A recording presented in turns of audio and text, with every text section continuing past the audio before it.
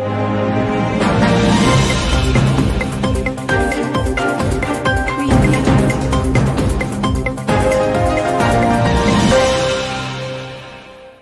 భద్రాద్రి కొత్తగూడెం జిల్లా అశ్వారావుపేట పట్టణంలో ఉరుములు మెరుపులతో అతి భారీ వర్షం కురవడంతో రహదారులు మొత్తం జలమయమయ్యాయి. దీంతో పట్టణంలో కరెంట్ లేక బ్యాంక్ లావాదేవీలు నిలిచిపోవడంతో ప్రజలు చాలా అవస్థలు పడ్డారు. రైతులకు పత్తి వేరుశెనగ అపార నష్టం వాటిల్లింది.